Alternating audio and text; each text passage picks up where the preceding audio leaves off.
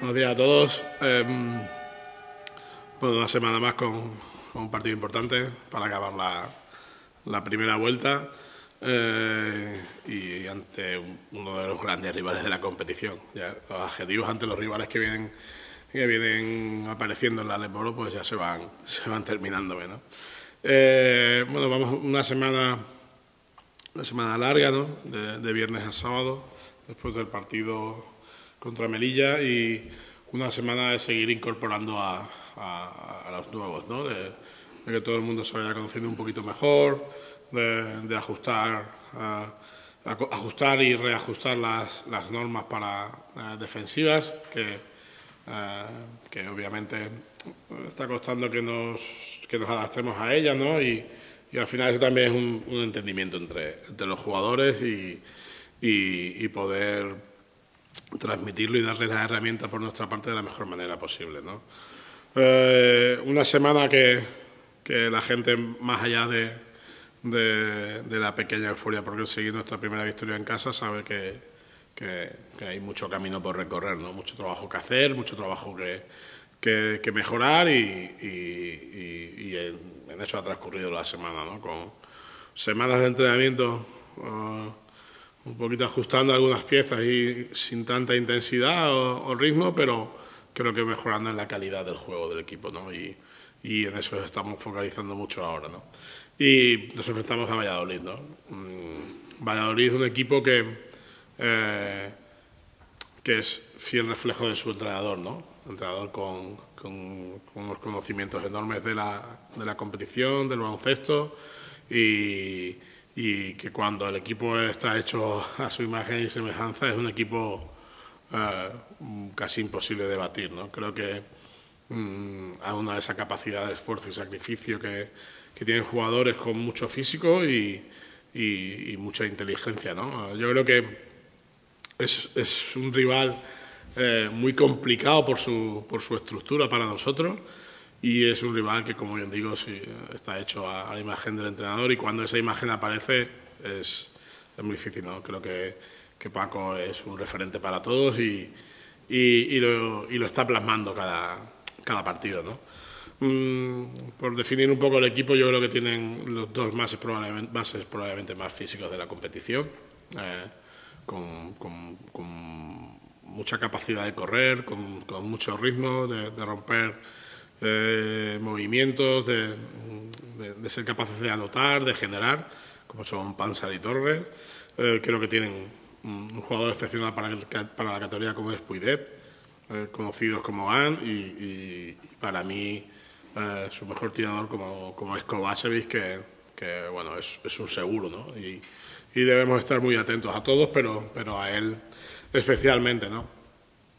Eh, un equipo que digo con muy físico y, y, y, el máximo exponente, pues ahí tenemos a, a Roma, ¿no? que, que, como todo el mundo sabe puede defender del 1 al 5 y puede ser el mejor defensor de la liga, ¿no? porque eh, cuando tú puedes defender a cinco, en cinco posiciones distintas quiere decir que, que probablemente sea el mejor. ¿no?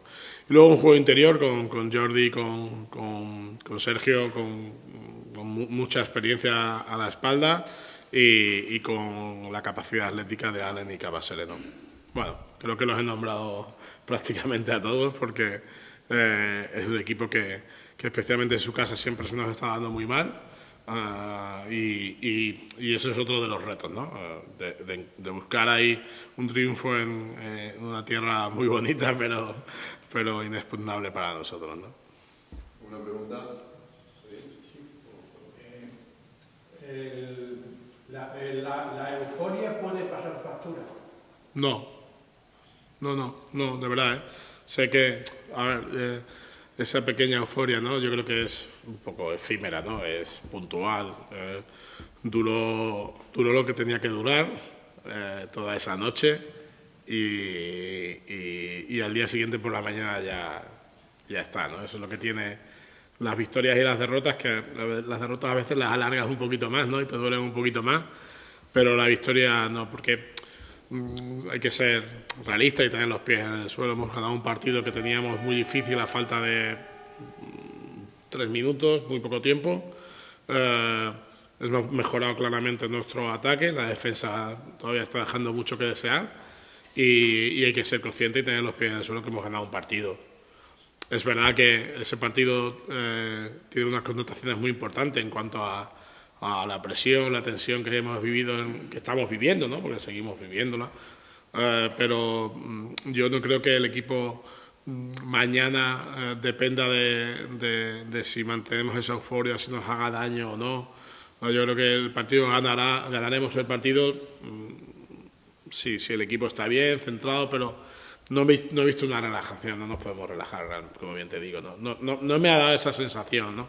Y bueno, yo creo que, eh, que todos los jugadores entienden que, que nos quitamos un pequeño peso de encima, pero todavía quedan 18 partidos por delante que, que van a ser iguales de duros o más que en 48 horas eh, la afición se convoque en, y flete un autobús para ir a, eh, a Valladolid, eso mola.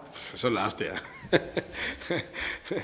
eso, eso, eso es, es, es, una pasada, ¿no? Eh, que, que va a estar acompañado por 70 personas aproximadamente, con un bus lleno, con con esas camisetas verdes seguro que va a haber por allí. Yo, ah, eso es la hostia. Yo me lo siento, no suelo decir mucho taco por aquí, pero, pero a mí eso me, me, me, me flipa, ¿no? Es algo que, que, me, que me enorgullece mucho, que me hace sentir eh, muy feliz por estar en este club y, y, tener a, a, la gente detrás. Y bueno, siempre han respondido, ¿no?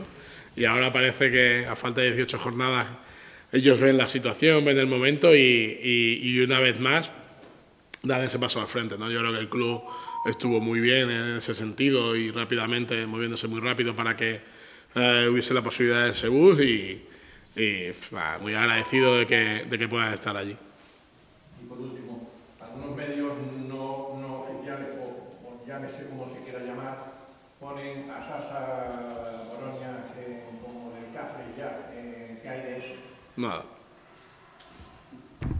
Eso quiere decir que mañana en directo sí.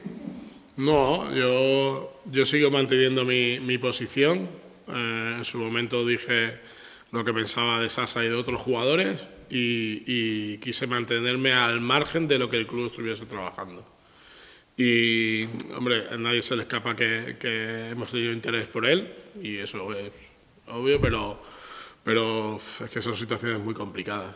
Y de verdad, eh, yo eh, insisto, a veces no me creéis pero eh, os puedo dar mi palabra que yo estoy muy, muy, muy centrada en el equipo, que he pedido, insisto, he pedido que si se hace algo con la serie de jugadores que se pusieron sobre la mesa, a los cuales yo obviamente contesté positivamente, que, me, que me, se me informe de que se hace. Y, y es que no quiero que se desvíe la atención mmm, más, de verdad. ¿Está todo el mundo Sí, sí, es verdad que es verdad que esta semana sí que hemos tenido que ajustar un poquito más con situaciones con, con Kelly, con, con Costa, hemos tenido que ajustar un poquito más porque al final eh, tenemos que conseguir que lleguen que llegue ese bidón de, de, energía lo más alto posible al, al sábado, pero esto no quiere decir que, que les pase algo. O sea, quiere decir que las cargas Mario las está, las está llevando uh, al milímetro como siempre y, y, no hay no hay ninguna ninguna lesión aparente. Y supongo que está más difícil que nunca por la cantidad de tiempo que he implicado, pero ¿te vas a dar un cálculo de victorias que se necesitan para la, para la permanencia? 11, 12, 13, 14, 26. eh, bueno, yo creo que este año no va a ser un número tan alto como en otras ocasiones. No, no me atrevería a decirte, sería muy presuntuoso por mi parte. Pero, pero sí que creo que eh, mm, ha habido años que se ha salvado la gente con 11 eh, y años que, se ha, que ha descendido la gente con 14. Yo creo que este año el número es, es bajo, es bajo. No sé, no sé, pero bueno, ya te he contestado básicamente, pero, pero sí, sí. Es que Cáceres quiere baloncesto. Verde, negros,